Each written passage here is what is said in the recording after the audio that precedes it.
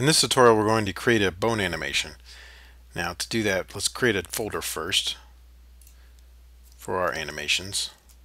I like to keep all my animations in separate folders just for cleanliness so let's go ahead and create another folder called chef and let's create a bone animation. So we create the bone animation data. You can think of this bone animation data as the blueprint that actually builds the animations in your scene. So let's rename this to chef you can see over in the inspector here, there's a button to open the animation editor. There's one to open the control panel, but we already have that open. You have a mesh import scale. This is useful for making your animation larger or smaller depending on your world size. At a scale of 1, it'll come in pixel perfect. 1 pixel equals 1 world unit. That's really great for 2D, but if you have 3D, uh, 3D world, then that's going to be really big, so you might want to scale that down. So let's go ahead and open the Bone Animation Editor. You can see here we have a bone hierarchy over in this corner and animation clips in this corner and that's all we can do to begin with. So let's create a, uh, a bone hierarchy. You can see you start with a root bone that is always there. You can add a new bone by clicking this plus sign and it just adds a new bone. You can do that several times and it just adds them all to the root. To rename you just click on it, right click, go rename bone and let's just give this bone a name. You can do the same thing here.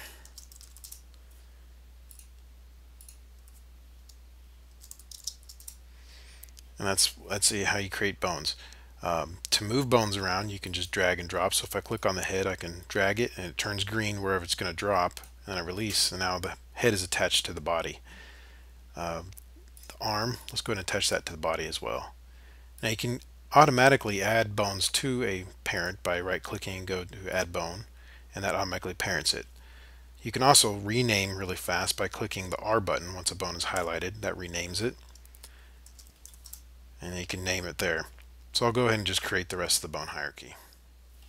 Okay, so now I have a bone structure built. You can see I've attached eyebrows to the head, and I've just made an eyebrows bone, but uh, the actual eyebrows will be attached to that. That way I can raise both eyebrows at the same time if I want. Um, I put the weapon and the hand on the arm.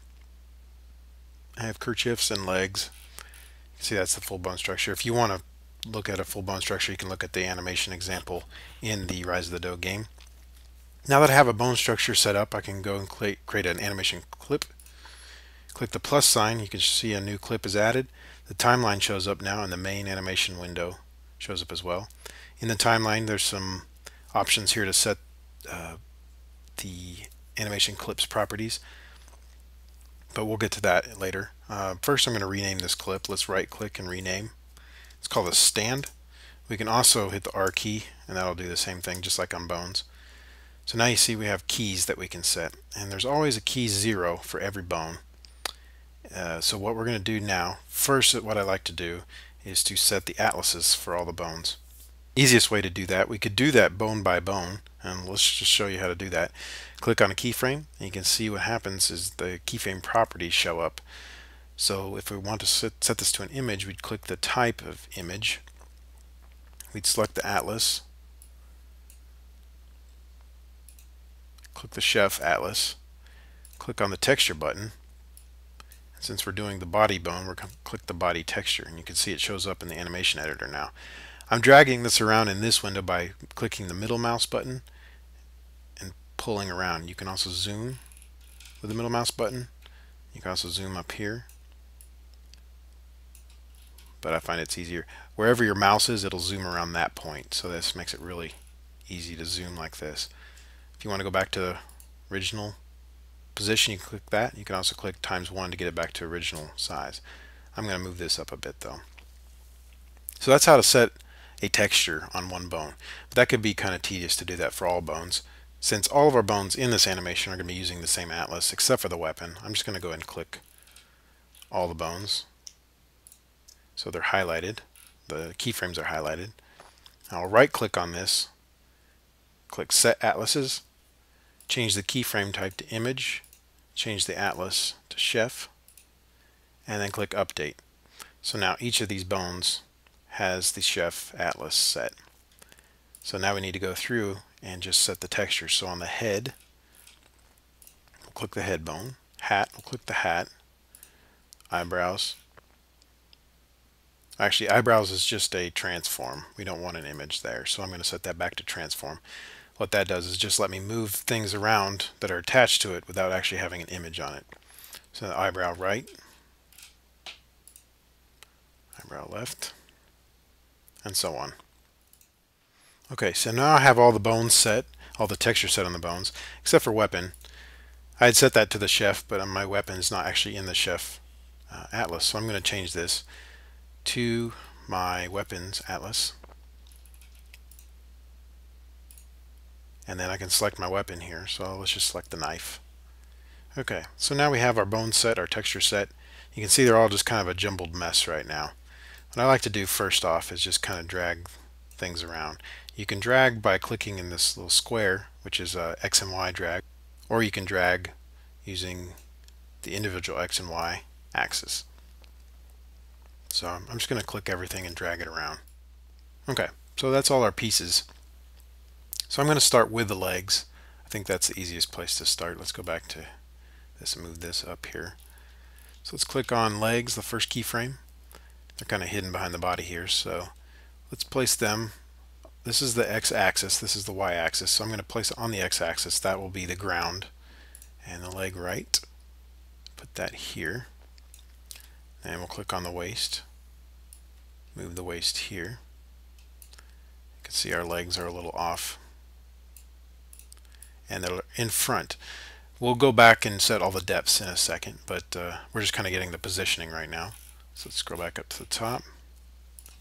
Click on the body. Oh, the waist is attached to the body. Or the legs are attached to the body too.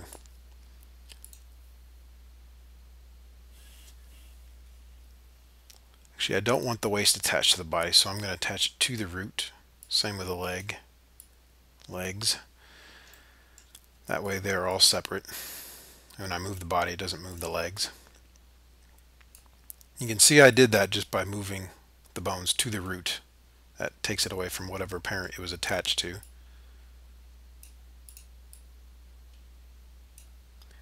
see now I'm just kind of building my chef here. Again, ignoring the depth. We'll go back and fix that. Okay, so we now have a basic alignment of the images for the chef. So now we're going to set the depths for each of these. Now the way you think of depths is just kind of think of the farthest texture in the back first and we'll set that depth first. So in this particular case the farthest texture in the back would probably be the right arm. So we'll go to the right arm over here and we'll set the depth. We'll set it really high, let's say 20. We don't have that many textures so that should be good. So now it's in the background. So then the next texture that would be in the background would probably be the hand, right hand. So we'll set that at 19. And then the weapon at 18. So these three objects are in the far background. Now it'll probably be this leg here, so we can click on that. Go 17. Okay, so now we have the depth set. Let's kind of flesh out his positioning a little better. So the legs, let's move this leg out, this leg out. It's got a little wider stance that way. Now the waist, let's move it down just a bit. Scroll up, move the body down.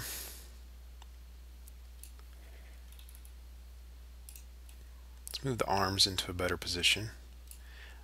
Kind of want that back kerchief a little farther back, so let's let's deepen it a bit so it's behind the arm. That way we can move our arm where it needs to be.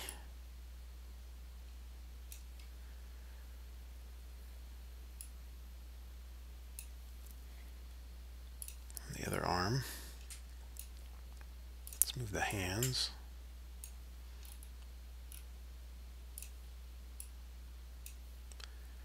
and the weapon. Let's rotate this hand a bit. Rotation you can do by clicking on this circle. That's a real easy way to do it. And the weapon. You'll notice these exclamation marks. That just means that you've set properties of animation curves that only have one key. So those properties won't actually show in your animation because it doesn't have enough keys once we set another key over here, those will go away as long as we capture those properties. And I'll show you exactly how to do that right now. Let's go ahead and make the last frames exactly like the first now that we have the first set just like we want it. So we'll double click on frame 20 and it highlights all the frames. You can see this if I expand this a bit. And let's right click and do duplicate first keyframes. That's the first ones in the animation clip. So now we have the first and last keyframes are the same. That gives us a nice symmetrical uh, property to this animation clip. Now you'll see the exclamation marks are gone because we now have at least two keyframes for the properties. But he's just standing there, he's not doing anything. This slider here shows the time of the animation. Nothing happens in the animation. Well, it is actually happening, but nothing's moving, so it looks like he's just standing still. So let's add a little bit of uh, movement to him. So let's click on the body. Let's click maybe on frame 5. Now we can insert a new frame or add a keyframe here. We'll just add a blank keyframe that sets up a keyframe with no properties attached to it. So let's go ahead and add in image scale, X and Y. And once we do that, you can see these gizmos show up. If we just had X, it would just have the X gizmo, just Y, just the Y gizmo. But if we have both, we get X, Y, and the uniform scale. And we want it to be on image scale. If we go to local scale, there's no keyframe set, so you won't see anything. But if we go back to image scale, they're there. So let's go ahead and make them breathe by dragging on the uniform scale makes his body expand a bit let's click on 10 and go blank again go to image scale scale it back a bit go to 15 now you can set a blank keyframe automatically by clicking on the B button. That'll set a blank keyframe as well so let's go do another one. Expand them again. Now if we drag you can see it go bigger get smaller go bigger get smaller. And if we loop this at 5 frames per second, we can play the animation by clicking on the play button and just let it go. You see, he kind of just stands there breathing, doing nothing really. Let's give him a little more motion. Let's make those arms. Let's put a keyframe here. Instead of blank, we'll right click and just do a position rotation keyframe. That's a shortcut to blank, then adding those key properties. So you can see it, it created a new frame and then it add the local, local position and the rotation. So we can move the arm around, rotate it down. Let's do the same thing. You can shortcut this with a P button. Click on P, it does that. Make it go back up. P again, go back down. Let's do the same thing for the right arm.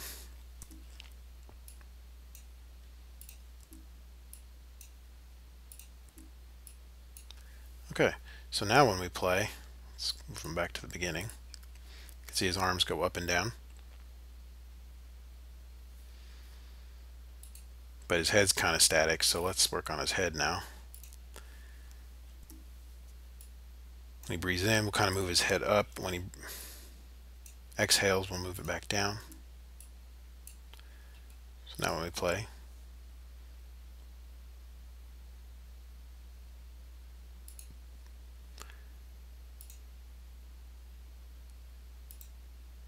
I have the eyebrows backwards I just realized so I'm going to move this one over here.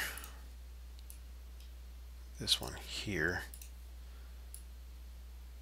That looks a little better. But we'll have to change the end as well because you'll see that they cross. So what we'll do is right click or click on both of those then right click and duplicate first keyframes. And it's asking do I want to overwrite? And I'll pick yes. So now the first and last are the same. And that's basically how you set up an animation